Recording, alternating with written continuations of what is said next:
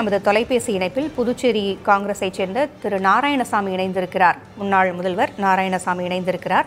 வணக்கம் சார். சீதாராம் யச்சூரி உங்களை போன்ற பல்வேறு அரசியல் தலைவர்களுக்கும் வழிகாட்டியானவர் என்றும் கூட சொல்லலாம். உங்களுடைய நினைவலைகளை பகிர்ந்துக்கோங்க.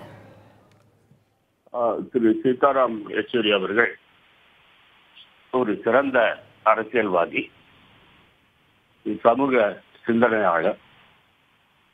அது மட்டுமல்லாமல் இந்திய பொருளாதாரத்தில் மட்டுமல்ல உலக பொருளாதாரம் பற்றி மிக தெளிவாக பேசக்கூடியவர் நாட்டுப்பற்றில் மிகவும் அக்கறை கொண்டவர். அவரோடு நெருங்கி பழகுகின்ற வாய்ப்பு எனக்கு கிடைத்திருந்தது.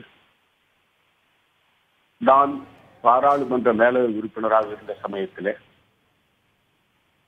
அவர் மார்க்சிஸ்ட் கம்யூனிஸ்ட் கட்சியினுடைய நிர்வாகியாக செயல்பட்டார். அந்த சமயத்தில் நானும் அவரும் பாராளுமன்ற உறுப்பினர்கள் தங்கியிருக்கின்ற குடியிருப்பிலே தங்கியிருந்திருக்கிறோம். இருவரும் இணைந்து நாங்கள் பேட்மிண்டன் விளையாடுவது உண்டு. அந்த அளவுக்கு என்னிடம் நெருக்கமாக இருந்த ஒரு தலைவர். அது மட்டுமல்ல அவர் பாராளுமன்ற மேலை உறுப்பினராக வந்த பிறகு பாராளுமன்றத்திலே பல விவாதங்களிலே அவரோடு நான் கலந்திருக்கிறேன். மதச்சார்பற்ற கொள்கை சமூக நீதி தொழிலாளிகளுக்கு எந்தெந்த சலுகைகள் பெற வேண்டுமோ என்பதற்காக தொடர்ந்து அந்த பிரச்சனைகளை எல்லாம் பாராளுமன்றத்தில் முன்வைத்தவர். அது மட்டுமல்லாமல் அவரை பொறுத்தவரையில ஒரு மிகப்பெரிய அரசியல்வாதியாக செயல்பட்டது மட்டுமல்லாமல் தன் வாழ்நாள் முழுவதும் கம்யூனிஸ்ட் இயக்கத்திற்கு கம்யூனிஸ்ட் சித்தாந்தத்தை இந்த நாட்டிலே நிலைநிறுத்துவதற்கு மிக சிறப்பாக பணிபுரிந்தவர்.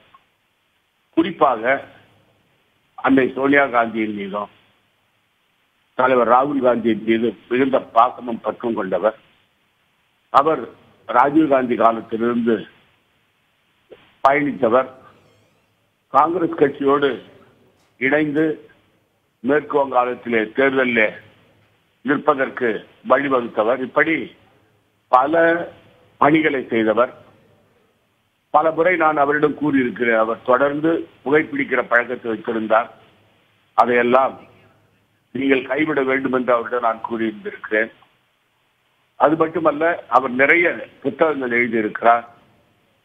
அது மட்டுமல்லாமல் கம்யூனிஸ்ட் கட்சியில தொடர்ந்து பயணித்தவர் இப்படிப்பட்ட பன்முகத்தன்மை கொண்ட ஒரு அரசியல் தலைவர் என்னோடு நெருங்கி பழகியவர் அவருடைய இறப்பு கேள்விப்பட்டு நான் மிகவும் வருத்தத்தில் ஆழ்ந்து விட்டேன். கடந்த இரண்டு தினங்களுக்கு முன்பு கூட அவருடைய உடல் நலம் எப்படி இருக்கிறது என்று டெல்லியில் உள்ள நண்பர்களிடம் நான் விசாரிக்கும் பொழுது அவர் சுவாச கோளாறு காரணமாக எய்ம்ஸ் மருத்துவமனையில் சேர்க்கப்பட்டிருக்கிறார். அவருக்கு தீவிர சிகிச்சை அளிக்கப்படுவது என்று சொன்னார்கள். அவர் நலமுற்று வர வேண்டும் என்று நான் மிகவும் விரும்பினேன். ஆனால் நம்மால் அவரை காப்பாற்ற முடியவில்லை. இப்படிப்பட்ட ஒரு அரசியலிலே அப்பழுக்கற்ற ஒரு தலைவர் எந்தவித காரணத்துக்கும் இடம் கொடுக்காதவர் கை சுத்தமானவர் ஊழலுக்கு துணை இப்படிப்பட்ட ஒரு சிறந்த தலைவரை நாம் இழந்திருக்கிறோம். அவருடைய இழப்பு மார்க்சிஸ்ட் கம்யூனிஸ்ட் கட்சிக்கு மிகப்பெரிய இழப்பு இந்த நாட்டிற்கு ஒரு இழப்பு. காங்கிரஸ் பேரியக்கத்தில் கூட காங்கிரஸ் பேரியக்கத்தோடு தொடர்ந்து பணிபுரிந்த வகையிலே பல நல்ல அறிவுரைகளை எங்களுக்கு கொடுத்திருக்கிறார். இப்படிப்பட்ட ஒரு தலைவர்களுடைய இழப்பு எங்களுக்கெல்லாம் மிகப்பெரிய இழப்பாகும். நிச்சயமாக நீங்கள் சொன்னது போல அவர் சார்ந்த கட்சிக்கு மட்டுமல்லாமல் அனைத்து கட்சியினரோடும் அவர் நட்பாகவே இருந்திருக்கிறார். ஒரு மிகப்பெரிய தலைவரை நாம் இழந்திருக்கிறோம். இணைப்பிற்கு வந்து உங்களுடைய நினைவலைகளை பகிர்ந்தமைக்கு நன்றி திரு. நாராயணசாமி.